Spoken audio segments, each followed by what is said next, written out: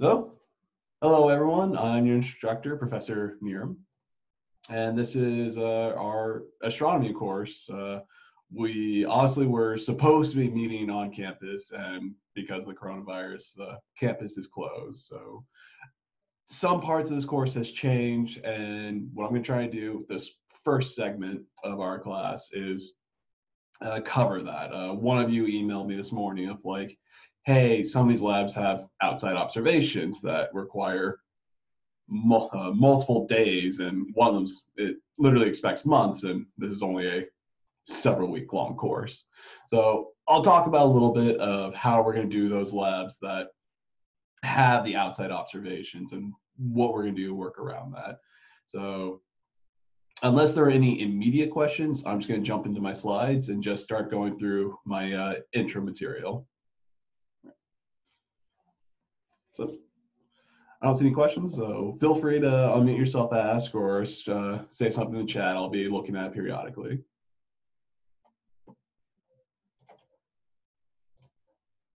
I have one question. Okay. Um, so we had to sign up for the class uh, as well as this class, and did they kind of combine the requirements for those, or because you said we're having labs in this class? Yes. So, so you're talking about you, you had to sign up for a lab time and then this class. Yeah. So, so what happens basically is that because we cannot access uh, the uh, campus resources, we have to use that online kit that I messaged about a week ago. Okay, gotcha. Um, so what we're going to do is uh, first and foremost, I'm going to be flexible when it comes to getting labs in. Like, uh, I, I will have like these are the deadlines I'm setting. Um, that's in the syllabus. Can you guys see the syllabus yet, or is that not available on Blackboard yet? I wasn't able to find it on Blackboard yet. Okay, so I'll make sure that's available today. Um, but like I'll, I'll have like a set of dates, but uh, let's just be blunt when it comes to how labs are going to work. My priority is to be as flexible as possible because these are weird times. All right. So let's go ahead and just dive in. All right, that's me again. All right, uh, my office, not too relevant because you're never going to see me in the office during this course. However, office hours, right? That's going to be every Tuesday, Thursday from 2 to 3. And obviously during class time, we've got this uh, two two hour, what's it? It's basically hour and 15 hours. So it's two and a half hour block every Monday, Wednesday, Friday. Uh, the way the lectures are going to work is that there are these online lectures already recorded and what I'll do during our regular class time is I'll be here on Zoom and I'll say, you guys should have watched up to this lecture at this point. And I'll be available either to play, you know, play the video for you or like jump straight to where you have a question and just answer your questions directly. So I'll be available every day of the week. So definitely email me. I'm going to be very vigilant, guys. I'm to check my e- emails basically every hour Obviously, if you email me at like 10 o'clock at night, I might be sleeping. well, I won't be asleep. You'll get emails from me late at night, but I might not answer when it's late. Right. Course materials. Uh, my goal is to try and reduce costs uh, everywhere I can. So your textbook is an open source textbook. Does anyone have no experience with the digital textbook? All right. None? Uh, no responses yet. That's good. So let's just uh, let me click on this link and jump you over to where the textbook is. So you follow that link, you can also find on the course website and just dump Jive uh, right into the, the course. So let's go table of contents and basically be covering this material as soon as it loads. Right. So this section was a wall of text. Let's go to one's a bit more interesting, tour of the universe.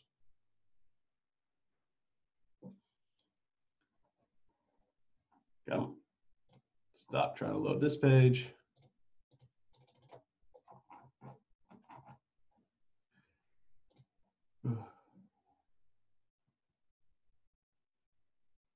There we go. So obviously we're going to have features like the highlighting, printing if you want to. Uh, close that down. So if you want to like, create, you can log in, create your own notes in your book as like a reminder. So I'm going to emphasize here, guys, like a lot of questions I get about astronomy is I don't understand blank. I don't, I don't get why this works. And my answer to you is going to be, have you watched the lectures? Have you read the book? This is a lot of content to digest. Uh, already in a regular semester, this would be centuries worth of material that we're breaking down in a few months. Now we're doing centuries worth of material in a few weeks. So what I'll tell you constantly is you really need to be basically engorged in this in this material. Got to read it again. Uh, watch my lectures. If if my lectures aren't working for you, I'll recommend you to other resources. I'll point you to other either links you can read or videos you can watch and really want to be immersed in astronomy because there's a lot to talk about here. Uh, one tip that uh, I have found is helpful for a lot of students as they're trying to learn the material.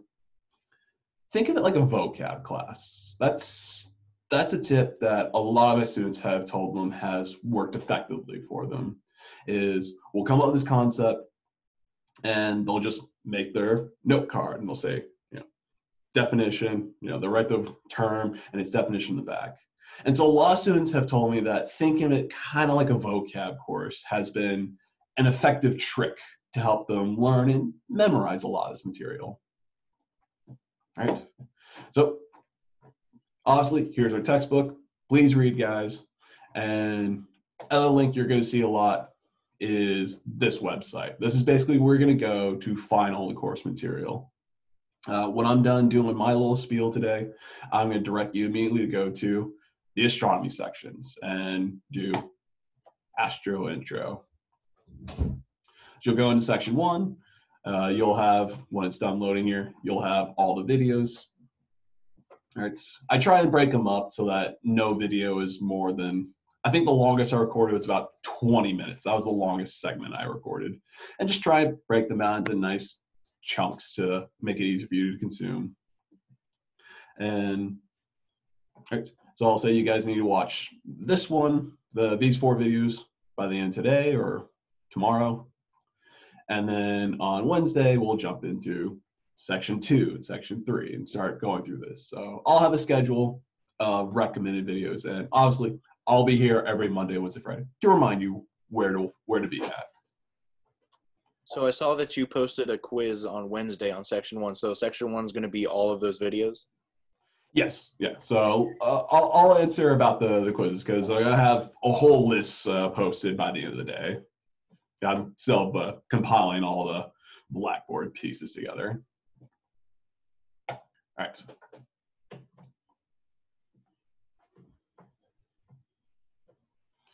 All right. So big one, how are you getting your grade? All right. I try and go for uh, simple as possible all everything added together, there are 4,000 possible points, and that is split up between. So that's going to be split up between your 10 labs, this attendance thing. The attendance is measured through those section quizzes that was just previously mentioned. And these quizzes are going to be delivered through Blackboard. You guys, you have unlimited attempts. They're all multiple choice. They're just there so that I have some kind of tool to like track that you are following along the course. All right, that's all the section quizzes are for. All right. Homework, similar thing. It's going to be a resource online. I'll talk more about that in a later slide. And then your tests. You'll have three tests throughout the semester and then a final exam. I drop your lowest test grade. Right? I don't do curves. Like I don't care if everyone gets gets an A. I don't care if everyone gets an F. Doesn't matter to me. There are no curves. You you get the grade you earn. But emphasize, three tests throughout the semester. The lowest one will just get dropped. Doesn't count. And then we'll have a cumulative final exam at the end. All right. So, biggest change for this semester, we're going to have to do these uh, these kits, these online lab kits. Right. The full instructions go to the website, go to the labs portion, and you'll hit uh, bullet by bullet instructions on how to acquire your kit. Yes, they're about $100. I'm sorry. Uh, unfortunate circumstances. Um, if you haven't ordered your kit yet, uh, the first two labs you should be able to do without the kits. It's definitely more into the later labs you'll need them. And there'll be tools like mirrors, uh, protractor, bits of string. And so a common question I get is, can I get through these labs without purchasing the kit? And I wouldn't be surprised if a lot of you could. You could be able to find your own substitutes with the supplies you have lying around your own household. So I do make sure there is a link once again on the, the web page. It'll be something like lab dash materials PDF. And that straight up tells you exactly line by line what what tools you need for this lab. And the the one that most students wouldn't have is like a prism for shining a light through the prism and splitting the colors of light. So if you feel like you can get by by ordering just the few materials that you don't have yourself, uh, feel free to. I'm not making this requirement that you must buy this exact kit. I'm just saying this kit will have everything you need for these labs. All right. So continuing on. Um, one common, another issue that's commonly come up is students will email me saying, hey, professor, I can't find the kit. You go to the eScience Labs website, you have to make an account first, then search for the kit. That's that's their procedure. All right. So uh, obviously we are in a astronomy course. We want to try and make sure there are some observations and uh, specifically there would be two labs, labs three and five, that need to do outside observations. Uh, you guys can ignore this rule, this uh, two or more zero things.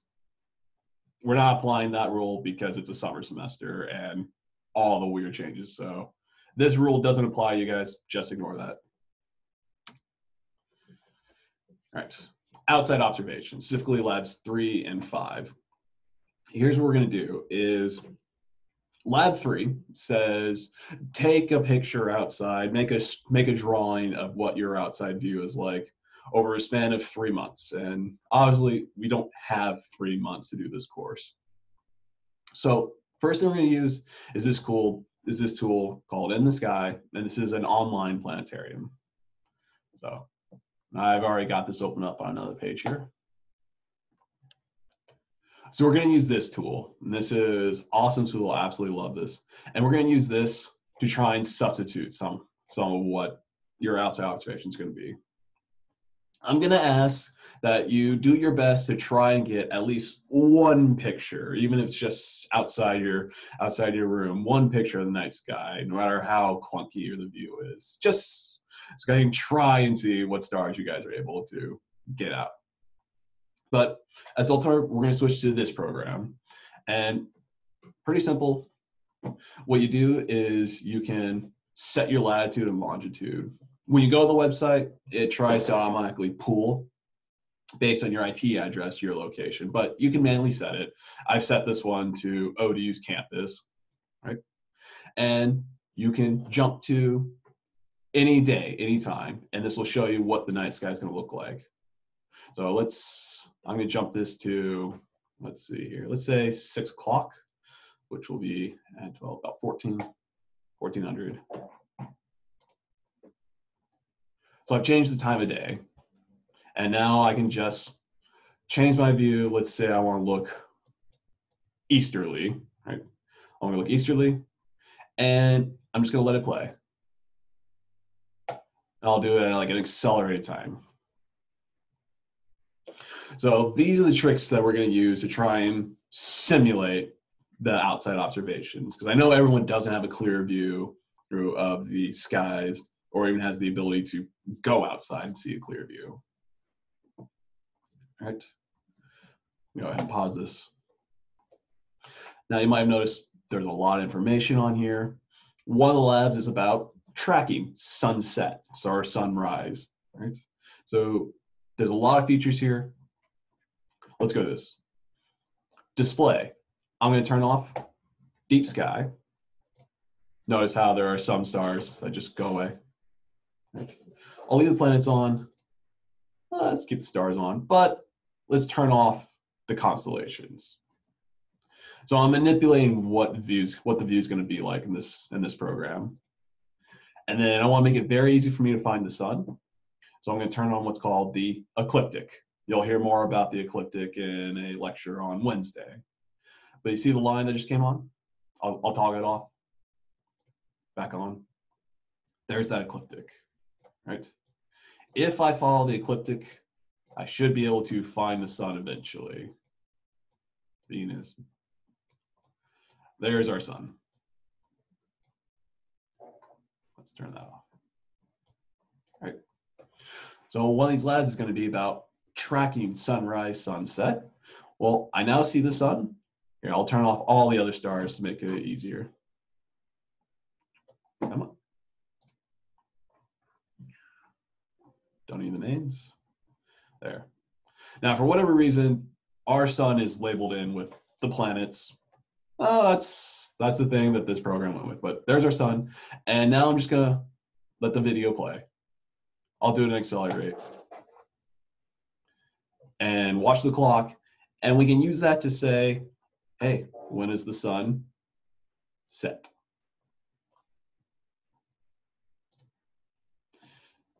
So we're going to use tools like this to help us map the night sky.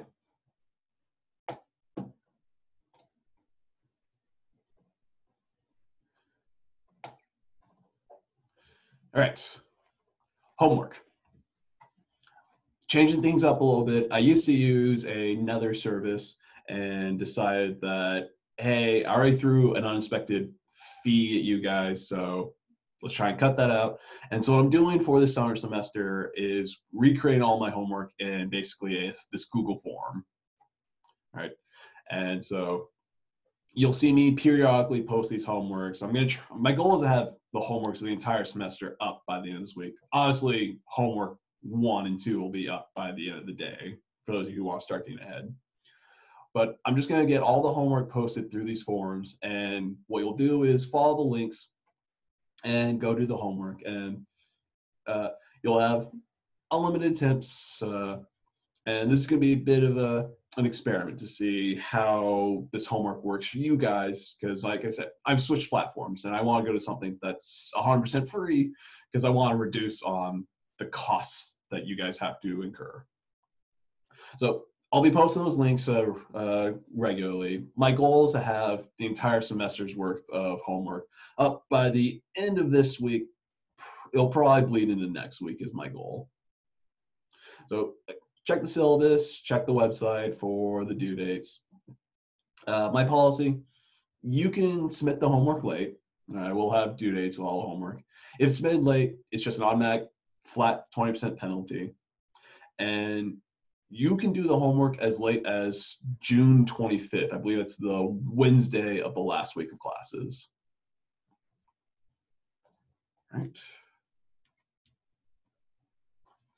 All right, tests. Take a screenshot now. If you use a calendar app or a notebook, write these into your tools now. Our tests. We'll have our first one Friday, May 29th. This is a fast paced course. Second one will be Monday, June 8th. Friday, June 19th is our third. And our final exam will be last day of classes, and it's a cumulative final. So put this into your calendars, use whatever tools you need to keep track, remind these dates. I'll I'll send you reminders as they come up. And how the tests are going to work is they'll be open for a 24 hour period.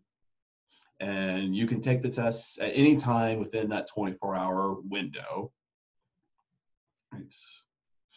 So, any questions about the test material?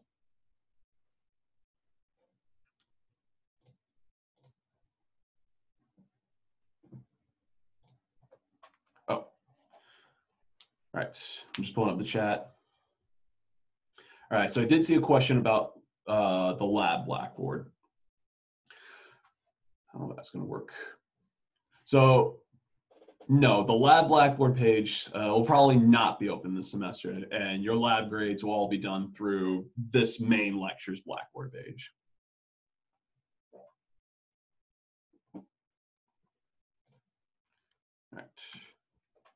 So, um, let's see here. No questions are coming in yet. I'm looking at the chat. Uh, any questions about the course structure at all? Because the rest of this is going to be me doing a math review. So I'm just making sure that so we don't have to worry about the time constraints of the lab course. We just have to worry about this course. We're yes. Uh, okay. I'm going to set due dates for the labs, but those are not going to be hard deadlines just because of how chaotic things have gotten. Uh, I do have a hard deadline by the end. I think it's the same thing, the June 25th or something like that. That'll be like a hard deadline. But uh, uh, when we'll see the due dates and where. Uh, they're in the syllabus, uh, which I apparently have not made available to you guys uh, yet. Uh, I'll do that when I'm done lecturing here. And uh, there'll be there'll be links in the Blackboard page when I finish setting up that you'll see all that. So I'll send out an announcement uh, once I've gotten all that set up correctly and remind everyone. So that'll def- you'll definitely know that by the end of the day.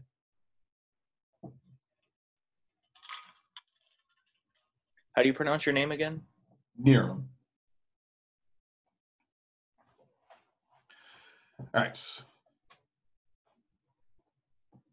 So, so enough about uh, the structure of this class. Uh, now my job is to, as many students have told me in the past, scare you for some reason. I'm going to do a math review. All right. So, uh, from my experience in these next few slides, I'm going to cover with you guys. A lot of students walk away getting terrified this is a math class no, this is not a math class, this is an astronomy course, but mathematics is unavoidable. You need to be able to do some calculations because we're going to talk about a lot of weird numbers and try and process them.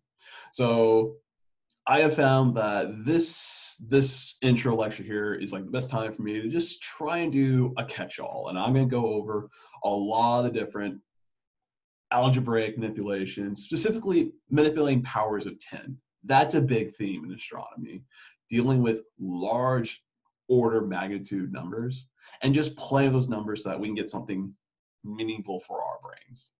So I'm going to use this to just practice go over some of these things. I don't expect you guys to be experts and manipulate these values as quickly as I do, but I want you to see it so that when it does come up later in the semester, it's not just a surprise. Uh, a great example of this, you're going to have a problem uh, near the end of the course that's going to be calculate the mass of the rings of Saturn. So tricks that I'm going to show you today, they're going to come up when you do that problem later in the semester. Right? So that, let's dive into our math review. What I've got here is just a simple word problem. I ask how much mass of carbon do I have? And it's easy. I say it's 600,000 billion billion atoms of carbon. And one carbon atom has a mass of 20 billion billion billions of a kilogram. And I hope it's obvious where I'm going with this. Our language is insufficient for communicating numbers. So this is why we introduce our mathematics. And I'll say, look, the total mass how much mass of carbon do I have is going to be the number of atoms times the mass of one carbon atom. So let's convert these words into numbers. Straightforward, right? Right. Here is 600,000 billion billion atoms and 20 billion billion billion billionths of a kilogram. All right. Even our numbers aren't exactly clear cut. So we introduce scientific notation. Right? Use the notation to reduce the powers of 10. So we'll say how many atoms? 6 10 to the 23rd. What's the mass of one atom? To 10 to the minus 26. Right? 6 times 2. You guys know that? That's 12. And we have these powers of 10. Well, 10 to the 23rd, 10 to the minus 26. We can stitch those together. So I'm just going to move the products around. Always, always keep your units. Right? There is an inherent level of physics that has to be with us, and we need units for numbers to have any physical significance. Right. So 6 times 2 is 12. 10 to the 23rd, 10 to the minus 26. The exponents will subtract. Right. 23rd minus 26, you get 10 to the minus third kilograms. Right. 10 to the minus third kilograms, well, that's grams. So all of this language here was to say that I have about 12 grams of carbon, which if any of you are using a pencil right now, a little more than the lead in your pencil right now. That's how many grams of carbon that I set up with this example here. Right.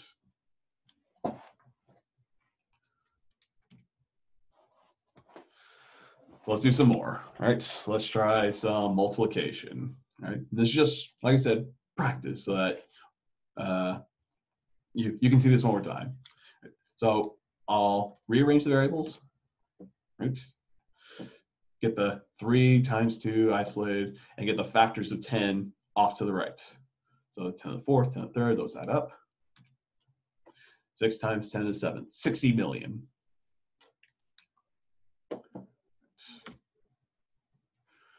Right, divide, right? Same set of numbers, but now we're to do division. And there's a lot of different ways to go about doing this. Yell at me if I've gone too fast. Right? So I did here is I said, look, 3 to the fourth, 2 to the third. Isolate the 3 over 2, right? So I've got three halves here. 4 over 3. That means I subtract the 3 from the 4. 4 minus 3 is 1. So I say this is 10 to the 1th power. Now, the way my brain went about just completing this, 3 times 10 is 30. What's half of 30? 15. What I'm trying to demonstrate here is that we don't need calculators to do these crunching for us, especially when we have just the factors of 10. We can do that. It's usually just addition or subtraction. And so we want to be able to use, you know, our calculators to check ourselves, obviously, but we want to be able to say, am I confident in these values I'm reporting? Calculator is useless if you don't understand how to manipulate the numbers. Calculator will just take garbage data in, spit out garbage data. How many of you had those homework assignments where you go click, click, click, click, get the number, plug in the program, the program says you're wrong, and then you go through click, click, click, click again, get a different number, and try that. All right. I saw one head nod, so I, I reached someone here. Right. So the, once again, the goal is just to practice this. All right. Let's do a difficult one. All right. This is probably the most complex level of math that you'll have to encounter in this course. Right. So here I'll have addition, or I'll have numbers with different powers of 10 that I'm trying to add together. So what am I going to do? Is get them to have a common power of 10. 10 to the fourth, well, I can just write that as 10 times 10 to the third. So this 10 times 10 to the third is this fourth. Here, go back a step. All right. So what I'm doing is making this number have the same power of 10 as this number, 10 to the third right? They both have 10 to the thirds, right? 2.04 times 10 is 20.4. So everyone's got the same factor of 10 on them, so I can factor out the 10 and just add the numbers together. So pull the 10 to the thirds off to the right, 20.4 plus 1.5, stitch them together, 20.9 times 10 to the third. All right. a common type of error. As always, it deals with fractions. Let's do this one. It's 26 divided by 65. No calculators. Right. Well, what's half of 26? 13. 13, right? I see an even number and I can always take half of it. So I know how to break up this. I can say this is 2 times 13. 65, that's a little bit trickier. What's 6 times 10? 60. So I need another 6. Uh, but I got this weird 13. So I can manipulate ways of factoring these things. Instead of doing 6 times 11, turns out I can write this 5 times 13. How, how can you convince yourselves quickly do that? 5 times 10, 50. 5 times 11, 55. 5 times 12, 60. 5 times 13, 65. Right? Start with the numbers you're familiar with and just increment your way up there. And now, obviously, I've written this in such a way that it's trivial. The 13s cancel, and I get the, the correct mathematical number, the 2 fifths. Here's the reason why I bring this one up, guys. This has come up in, in a class once, and it was basically worked on this 26 out of 65. And what did the smart student do? They canceled the sixes and magically, luckily, got the correct answer. So, completely wrong. This makes no sense. But they magically got a correct answer. And I had a tough time trying to argue the student of just because your boneheaded error worked out doesn't mean that you did anything correctly. And this kind of issue I see all the time. So double check your work, be careful. Um, don't rely on the calculator. Like like I said, use the calculator to get your final answers, but have some like pen and paper lying around and write things out. That's a great way to avoid errors. And making mistakes is totally reasonable. Right? That's part of just doing math is you you catch an error, you make a mistake, you correct it, and you move on. Like that's perfectly natural. All right. So here's a crazy complex one. I've got an 8 times 10 to the 10 to the 24th divided by a 4 times 10, 10 to the 20th times 0.5 times 10 to the minus third. And I will argue here that we don't need a calculator to do this at all. We'll work through this together, right? How do I reduce this crazy thing into one of these answers? So I'll show you my way, right? Always, always rewrite the numbers, right? And start doing some different uh, simplifications. Uh, your brain might see some uh, steps that uh, that I don't follow, and that's totally fine. All routes will lead to the same answer. So here's what I did. I said, look, 10 to the 24th over 10 to the 20th, that's a subtraction, right? Get those numbers subtracting each other. 0.5, I don't want to do decimals yet, so I'm going to write that as a fraction, one half. Right. Now I'll start grouping powers of 10 here, right? I've got one half here. Let's stitch it over, multiply the four. So this will be eight divided by four times two. I know a lot of you are already doing the jumping to the one, but bear with me. I'm doing this grossly long so that hopefully no one gets lost. What happened to these tens? Well, 1024 minus 1020 is 10 to the fourth. So I've got myself a 10 to the fourth times this remaining 10 to the minus third. All right. So 4, to, 4 times 2 is 8. I've got 8 divided by 8. Group those powers of 10. 10 times 4 minus 3. I get 1 times 10 to the first power. Or a nice simple this crazy jumbled mess is just a fancy way of saying 10. All right. Let me reiterate, guys. I'm only doing this level of math review because problems of this caliber can come up, especially in the later sections. This can come up.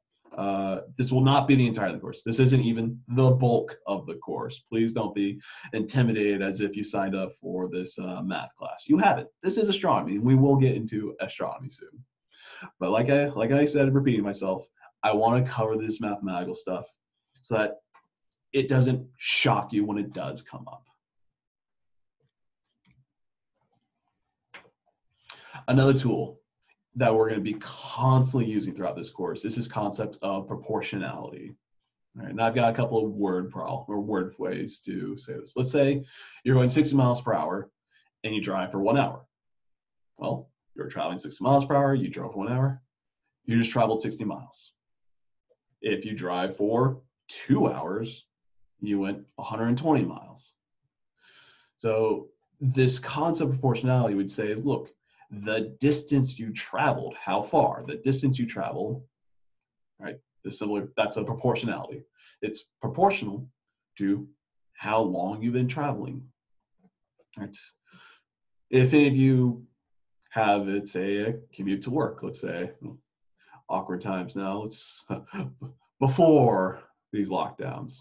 How many of you thought of your commute as being like, it takes me 15 minutes to get to the grocery store. It takes me a half hour to drive to this destination.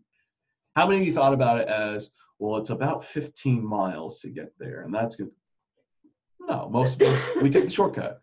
We don't think of the distance we're going to travel. We think of how much time it takes us to get there. So we're using this proportionality trick. We're making this logical shortcut. And we can do things similarly in that direction. Let's say I traveled 20 miles and I was going 30 miles per hour. Well, then that trip took me 40 minutes. Let's say I got to travel the same distance, but I was able to go twice as fast. So imagine in the second case, traffic was clear. In the first case, you're at peak traffic. Uh, if any of you have ever commuted through the tunnels, right? You know that tunnel traffic can have these peaks where traffic literally stops on the road, right? That's what I'm trying to get at. Same distance, different speeds, different times. So this relationship we'd say is the time of your traveling is inversely proportional to how fast you went. The faster you move, the shorter the time, right? So we're going to be using these kind of proportionality relationships frequently to discuss not just distances, scales in the universe, but radiant energies, how hot something is, how luminous it might be. We're going to be discussing planets and orbits constantly, so we're going to need to remember some of our circle and sphere geometries. Start with the circle, right? What's the area of the circle? What's pi times the square of its radius. That circumference. The circumference says what's the distance. Right? When you think of circumference for astronomy, think of orbits. How, how far does Earth travel when it goes around the sun? Right? Well, if you can make the orbit a nice perfect circle, it's 2 times pi times the radius, 2 pi r we'll be asking things about what's the density of these different planets. Look at these moons, right? They're going to be spherical objects. What are they composed of? Well, if we can calculate its volume and its mass, we can start to calculate things like what it's composed of. So if I have a sphere of some radius r, its volume, 4 thirds pi r cubed, its area, right, uh, you ever struggle thinking about volume area? Volume, take a paint bucket and think about how much paint you can fill into that bucket. Area is how much area, how much uh, wall can you paint, right? And so our area of a sphere, 4 pi r squared. Now, before anyone asks, No, these are not things that you must have internally memorized. You can always look these up. But like I said, keep this in the back of your mind when it comes up. Another one that will come for us, the logarithms, right? We've talked about how you have 10 raised to the power. Well, you can do the opposite. You could have 4 raised to the power. What the heck's a logarithm? Logarithm is the opposite of exponentiation. Instead of me exponentiating to make something big, I take the logarithm to make it small. And here's just uh, you know your classic algebraic example of what is x? 10 equals 4 the x. Well, I'll take that logarithm base 4, logarithm base 4, and that reduces to x is whatever this number is. We're not going to see calculations like this in this course, but we are going to see things that are called log plots, right? We're going to see plots where we're taking these huge range of scales and using logarithms to reduce them. Why do we do that? Well, simple trick, right? If you remember your log rules, right? So let's say I have quantities x times y times z, so on and so forth. Well, instead of doing a bunch of multiplications, if I can take the logarithm, I can just add these numbers up now. Instead of trying to figure out what's 5 times 60 times 12.5, I can just say, what's the log of all those numbers added up?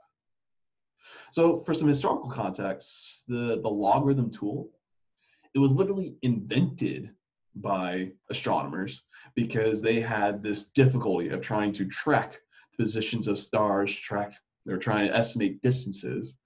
And so they invented the logarithm tool to help them reduce the complex multiplications, exponentials they were doing. They just wanted to make their lives easier, so they came up with this tool. All right. So this is the end of my little intro spiel. So let's just do some reminders. Read your book, guys. It's it's an open source book. You know, make an account with the OpenStax resources. Add notes to your book, or good old pen and paper. Jot stuff down. Right. If you want to, you really want to learn something, you got to write it down. All right, uh, practice problems. Uh, remember that tip I gave early on. Think of this kind of like a vocab class. Write down a concept. Use your note cards. They're very powerful tools. And when the mathematics come up, don't be afraid. Don't just entirely rely on your calculators. Like I said, calculators are powerful tools, but you need to know how to manipulate the numbers yourselves too. Study, read the books guys. They're useful. If you want to understand you're strong in this concept the book is going to have a different way of phrasing things than i do and that might help you. And if the book and my lectures don't help you seek out email me a question and i'll point you to resources that'll help you. Astronomy is this amazing subject. And there are literally thousands of thousands of different resources out there to help you. So like I said, if you ever find yourself struggling, reach out to me and I will do everything in my power to help you because I think everyone should learn this stuff because I think astronomy is great. So, all right, so that's the end of my spiel for this first half of this course. And I'm starting to see questions come in, so let's just start answering those questions. All right. Where do we submit the lab assignments? Uh, all right, so Lily, I'm gonna answer your first question. Where do you submit them, I will be making a, a section of the Blackboard page that says like uh, lab assignment uploads. And so uh, you'll see that later today, this uh, entire section of the Blackboard page for uploading them. Now, as for, I try to edit some of the lab assignments and won't let me type on them. Um,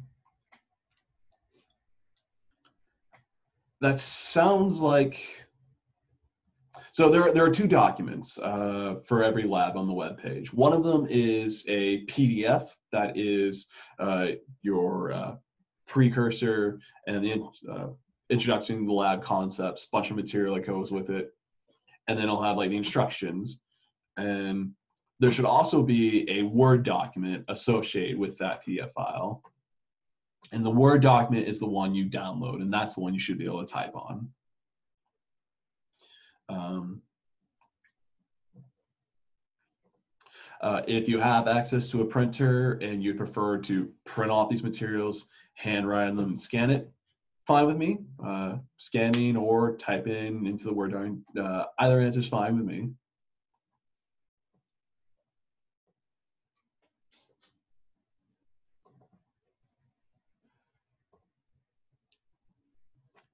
Right. More questions. Keep them coming.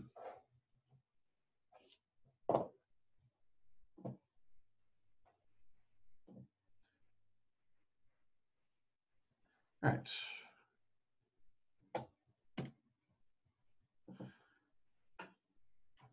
So, uh, it'll be a little bit of both. The test will have some multiple choice and some short essays. You will see some practice tests. Uh, uh, you'll see a section uh, posted uh, tonight. It'll be like, here's some practice tests, and you'll you'll see what the format's going to be like for those tests.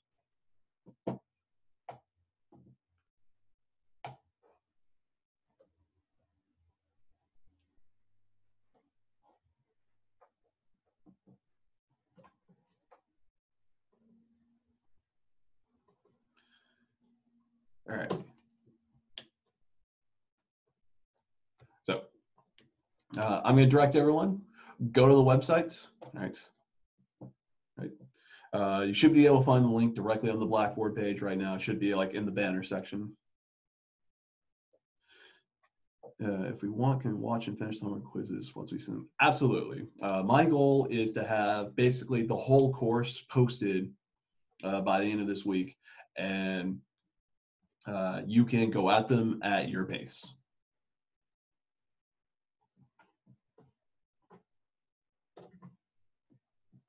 Right. So go to the main website. Uh, I'll direct everyone uh, by the end of today or end of tomorrow. Here's your section one videos. What is astronomy? And uh, what this one's got four parts for you to watch.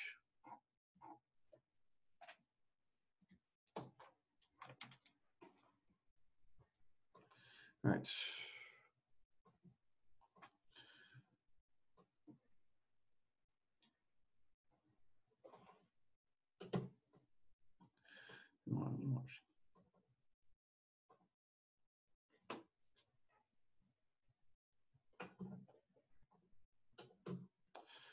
All right. So that seems to be end of questions. So I'm gonna end the recording here. I'll post this video online for those uh, for the students who weren't here. Um, I guess that didn't come up. Uh, this is an asynchronous course now.